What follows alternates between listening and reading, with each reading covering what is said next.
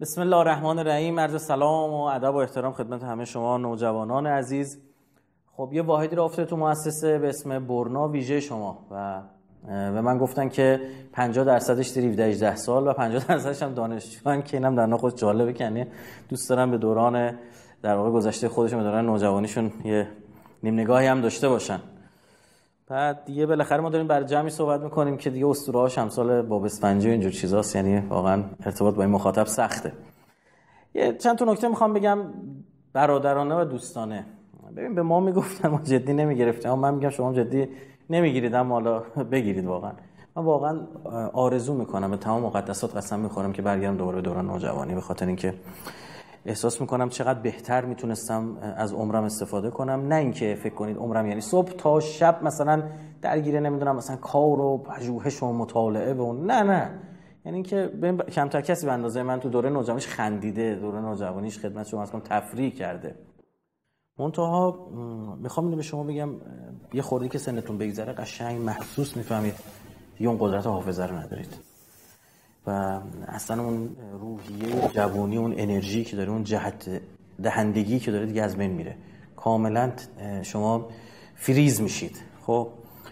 و من معتقدم این سیستم آموزشی ما اصلا برای پخم پروری طراحی شده کنه واقعا یعنی اگر الان مثلا چه می‌دونم به من بگن که برمیگشتم با خودم گفتم میکاش این کتاب می‌خونم میکاش این مهارت رو به دست میآوردم. خیلی از این مهارت رو راحت شما به دست میارید ببین شما سوم راهنمایی که رد می‌کنید وارد دبیرستان میشید یهو می‌بینید چقدر کتاب اضافه شد. یه کتابی که قبلا تو یه سال میخوندید و الان باید چیکار کنید؟ تو مثلا تو یه ترم بخونید. یعنی تو نصف یه سال بخونید. اولش باورتون نمیشه بتونید این کار انجام بدید. بعد ببینید راحت دارید این کار انجام می‌دید. یعنی شما خیلی ظرفیت ها دارید. خیلی از مهارت ها هست که شما می‌تونید تو همین دوره کسب کنید. واقعا یعنی بعدا که سنتون بگذره این توانمندی رو ندارید. و اگه می‌خواد زبانتون تقویت کنید همین زمانشه خب؟ بعدا نیاز پیدا می‌کنید. می‌بینید که اون توانمندی رو ندارید. یه موقع است می‌خواد از زندگیتون شهرک سینمایی بسازید. یعنی اینکه آقا زبانم بلدم اما چه زبانی بلدی؟ در حد سلام علیکم به درد نمی‌خوره. من می‌خوام به شما بگم بعضی از همین کسی که عقب ماندگی ذهنی هم دارن شما می‌بینید فارسی رو متوجه میشن. خب؟ یعنی کنارشون تکلم شده. حتما باید زودتر در واقع تو اون فضا صحبت بکنید مطالعه کنید خدمت شما عرض کنم voice گوش کنید کلاس برید. به خدا الان خیلی از همین ابزار و نرم افزارا دم دست دم دسته واقعا می‌تونید. وقتتون رو به بتالت نگذرونید یه نکته دیگه بهتون بگم که قدرت نگفتن داشته باشید. این دوره همه رفق همه دنبال گندگی کردن و دیده شدن و خود نشون دادن و این فضان که آقا به رفیقمون نه نگیم اگه به رفیقمون بگیم نه این عین دیوانگی محضه.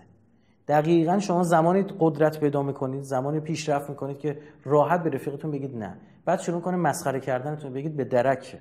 اصلا ذره اهمیت ندید. خب؟ آقا بیایم دور بزنیم. کجا بریم دور بزنیم؟ با چه هدفی؟ نمیگم تفریح نکنید و تفریح کنید درست حسابی حرفه‌ای خب؟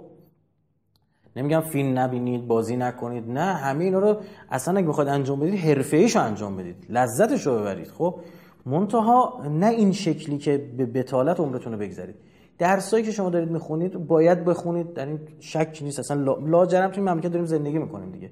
باید بخونیم. پدر مادراتون حساسن روی این مسئله لازم هم هست درس رو بخونید. منتها می‌خوام بگم این درسی دارید می‌خونید هیچی نسبت به اون توان ذهنی شما توان مغز شما. تنبل بارش نیارید. ازش کار بکشید خب باتون به قولی را میاد. من اول دوم دبیرستان بودم اولین نفر رو شیعه کردم یعنی اولین مستبصری که من باش سر کله می‌زدم اول دوم دبیرستان بودم. که اونا یعنی اولین که یعنی دو نفر بودن. خب اونا اونا دانشجو بودن. من میشستم باشون صحبت می‌کردم خدمت شما عرض می‌کنم. و تونستم تاثیر بزنم روشون. به خاطر چی؟ به خاطر اینکه من کتاب کنار این درسام داشتم کتاب دیگه میخوندم. مطالعه می‌کردم خب. و می‌خوام بگم به نوجوانی الان متاسفانه بزرگتره به بچگی نگاه می‌کنن. پدر مادرم چند کلمه با پدر مادر رو صحبت بکنین بچه نیستن. و علامه هلی دوازده سالش بوده مجتهد شده. یه جا میگه رو درختش بازی می‌کرد اون بچگیش ایجاب می‌کرد دیگه. زن اومدن سوال شرعی داشتن. ایشون گفتن گفتن آقای علامه هلی کجاست؟ ایشون گفت برید توی حجره الان صداش می‌کنم. خودم اومد یه عبای انداخت رو دوشش اومد نشست گفت سوالاتو بپرسین فکر کردن سر کارشون گذاشته. گفتم برو بچه بابات صدا کن. مثلا فکر کردن پسرش. گفت خود منم. وقتی شروع کرد براشون حرف زدن می‌دونید چقدر عاقلانه صحبت می‌کنه. بعد زرنگ هم بود شیطون هم بود. اذیت می‌کرد شیطونی می‌کرد بچگیش ایجاب می‌کرد. خب بعد باباش که دنبالش میافتاد بگیرش آیه سجده دار میخون آیه سجده دار بر کسی که به بلوغ نرسیده سجده واجب نیست. اما برای باباش که طبعا بالغ بوده سجده واجب بوده. تا بابا میخواستش برسه آیه سجده دار میخون بابا یهو می‌رفت تو سجده. اونم در می‌رفت فرار می‌کرد.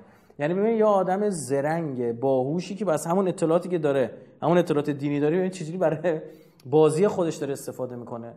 ببین دین ما یه دین پر از انرژیه پر از نشاطه پر از شادیه پر از خنده است. اصلا مؤمن کسی به خنده روی معروف باشه. بعضی از این آقایونی که ما می‌بینیم هیچیشون به مؤمن نمی‌خوره. هیچیشون به امیرالمومنین نمی‌خوره. جناب خلیفه دوم یه جا به امیرالمومنین برمیگرده میگه یه جا ما داریم به ابن عباس میگه. میگه که می‌دونی من چرا مستقیم بعد خودم بلافاصله علی رو خلیفه نمی‌ذارم؟ ابن عباس می‌پرسه چطور؟ او جواب میده که بخاطر علی خیلی شوخی می‌کنه. یعنی اصلا ایراد نیست. خب؟ این کسانی که خندگو و بزلگو نیستن نه اصلا خندرو و بزلگو نیستن اصلا اینا پیرو امیرالمومنین نیستن پیرو یه کسی دیگر این فضا بگید بخندید اما میشه این واقعا این دوران رو بدون با کمترین گناه سپری کرد. دورانی که شما متوجه یه سری انرژی ها احساسات به قول یه سری می‌بینید عجب یه config ی رو شما به قول نصب بوده از اول خبر نداشتید. تازه آپدیت شده تو بلوغ خب؟ یه سری متوجه یه سری قدرت ها و توانایی های جسمی و جنسی خودتون میشید که اگه بتونید الان مدیریتش کنید کارتون پیش میره. بعد حتی تو زندگی خودتون زندگی آیندهتون زندگی زناشوییتون موفق میشید. بسیاری از این آسیب های برید این روانشناسا دارن میگن. ما اینجا واحد خانواده داریم. جلسه داشتیم همین سه چهار روز پیش با سه تا از اساتید واحد خانواده من صحبت می‌کنم ایشون دکترای روانشناسی داره. خدمت شما عرض کنم تو جلسه ایشون داشت میگفتش که بسیاری از اینا برمیگرده به هم دوره نوجوانی کسی که بعدا تو زندگی زناشوییشون به مشکل خوردن به طلاق رسیدن. برای چی؟ برای اینکه نتونسته مهارت های لازم برای کنترل نیازهای جنسیشو نداشته. اگه الان تونستید خودتون رو کنترل کنید هنر کردید. و اینم نیستش که آقا من برم خودم همش در معرض همه چی قرار بدم بعد بگم هی کنترل کنم خودم خودم. کدوم آدم دیوونه این کارو می‌کنه چند تا نکته دارم. اولا اینکه با خانواده ها اینکه بچه ها رو درک کنید. من فقط یه درخواست ازتون دارم. خواهش می‌کنم ازتون. بشینید نیم ساعت فکر کنید. نیم ساعت. خاطرات گذشته خودتون رو مرور کنید. ببینید نوجوان بودید چه نیازهایی داشتید. چه چیزایی تو ذهنتون میگذشت. همونا رو الان نام دارم. خیلی بیشتر. شما نوجوانیتون مال دهه 50 بوده نمی‌دونم مثلا کی بوده دهه 60 بوده نمی‌دونم. کمتر یا بیشتر. ما این بچه تو دوره ای الان داره زندگی می‌کنه که دسترسیش به گناه کمتر از چند ثانیه است. یه گوشی فقط داشته باشه. اینا رو درک کنید. باشون رفیق باشید. انقدر گیر ندید. با بچهتون رفیق بشید. الان نمی‌خوام اینا دشمن کنم علیتون فردا. شما شما بچه‌ام سوء استفاده نکنید. ببین ببین. فلانی اینجوری گفت تو به من گیر میدی نمی‌دونم چی. اینا واقعا دلشون براتون میسوزه بچه‌ها. واقعا دلشون میسوزه. شما بچه ندارید نمی‌دونید. من بچه دارم می‌فهمم. شما نمی‌دونید وقتی بچهتون سمت خطر میره چه بلایی سر پدر مادر میاد. اصلا نمی‌تونید تصور کنید خب اصلا به مخی یعنی همش حرفه. فقط باید پدر مادر بشید بعد بفهمید. که تا قبل شما یه حرف می‌زدی آ طرف میگه آقا دستم سوخت. فلانی 50 درصد سوختگی گرفته بنده خود سوخته تو بیمارستانه. یه حرفه. اما اونی که سوخته داره یه بار دستتون با کبریت سوخته دیدید چه آتیشی داره فکر کن کل بدنت بسوزه. گو احساس سوختن به تماشا نمی‌شود. آتش بگیر تا بدانی چه می‌کشم. خب تو تا پدر مادر نشی نمی‌فهمی که از به دنیا اومدن بچه دردسره. خب تا نوه یعنی این بزرگ بشه ازدواج کنه باز بچه اون به دنیا بیاد. اینا رو هم درک کنید. اون گیر نیست اون دلسوزیه. احترام پدر مادر چی میگن حفظ کنید توی دین ما؟ عقلم ایجاب می‌کنه اینو. منطق هم ایجاب می‌کنه. مرام هم همینو میگه. یادم با مرام مشتی هم باشه همین کار انجام. خب درستون رو بخونید دانشگاه میید الحمدلله اون صفحه ده شستی ها برطرف شده. شما که هر دانشگاه برید قبولید الحمدلله. خب خیلی سخت برای شما نیست. اون پدر ما بود ده شستی ها در اومد. و کنکور ملاک موفقیت نیست. خب کنکور ملاک موفقیت نیست. مهارت هایی که شما به دست میارید.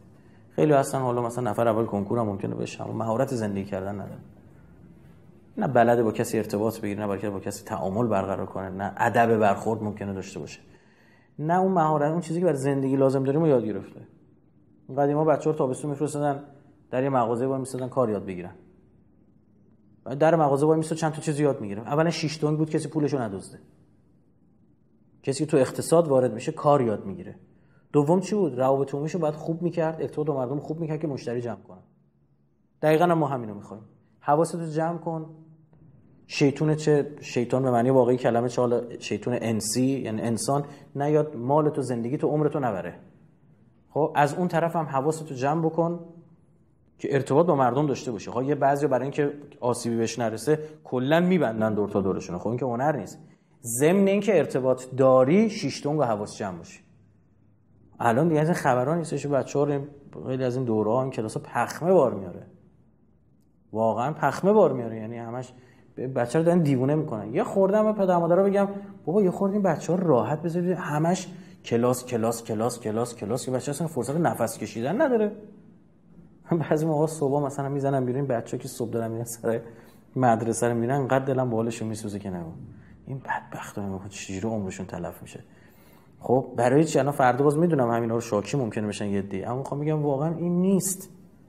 اون اینو باید باشه همش این نیست. این باید باشه. لازمه. درس باید بخونی.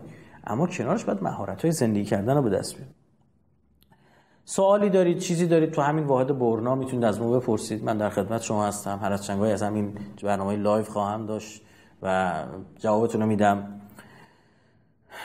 یه واحدی هم انشالله برای دختر خانما الان که هر دوتا هستن آقا پسر و دختر خانما هستن. نمی‌خوام زن و مرد اینجا نه.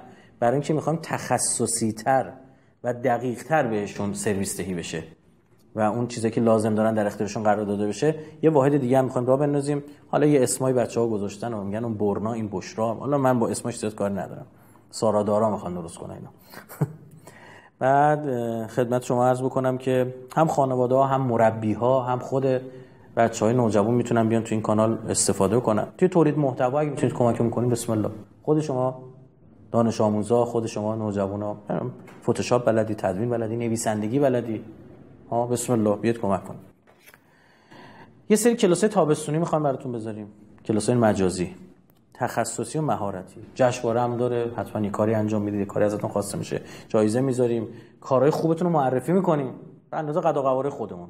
به اندازه رسانه‌ای که داریم. یه برنامه رسانه‌ای داریم درست می‌کنم به اسم هزار تو. دغدغه‌هاتون رو بیاد اونجا بگید. نه از این خط قرمزا که تلویزیون می‌ذاره. نه راحت به حرفتون بزنید. روابط دختر و پسر مد لباس موسیقی بازی تفریح کنکور مهاره همه چی. همون چیزی که ما الان از شما پرسیدیم دغدغه‌هاتون یه خورده می‌دونیم. بیشتر با ما در جریان بذارید. یه سامانه رو اندازی می‌کنه رو اندازه استعدادیابی. شاید خود شما ندونید تو چه چیزای مستعدید حالا تستای مشخص شده تستای در شخصیت شناسی و روان شناسی شما می‌تونید بیاید اون تستا رو انجام بدید. همه اینو تو همین کانال برنا بهتون معرفی میشه. خب؟ راه اندازی مرکز مشاور تحصیلی براتون درست می‌کنیم که بیاید بدونید که تو چه رشته برید شما استعدادتون کجاست و کمکتون کنیم مشاوره که بتونید انتخاب دقیق تری داشته باشید.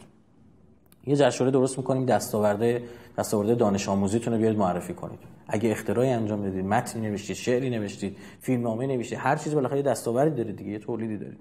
بیاد اونجا. یه مهارت خاصی دارید. نمی‌خوام عصر جدید را بندازیم. خب به اندازه خودمون. درست شد. ما ما به اندازه خودمون کمک می‌کنیم به معرفی کردن شما. هیچ چیز ازتون نمی‌خوام. هیچ. یه سری همایش و دورهای تخصصی می‌خوایم برگزار بکنیم. ویژه مربی های محترم و عزیز که بهترین اساتید و کسایی که کار کردن یعنی دقیقا از وسط میدون جنگ و نبرد دارن میان. مثلا دورهای ویژه پاسخ به شبهات. اینا برگزار می‌کنیم. عزیزان می‌تونن پیام بدن ارتباط داشته باشن با همین کانال و تو این دوره شرکت بکنن. برگزاری اردوهای آموزشی داریم. اردوهای یعنی قشنگ با حضور فیزیکی. حالا اینا همه شرطش فراهمه. همه کارا انجام شده. زیر ساخته آماده شده. بعد این برنا در واقع اعلام شده.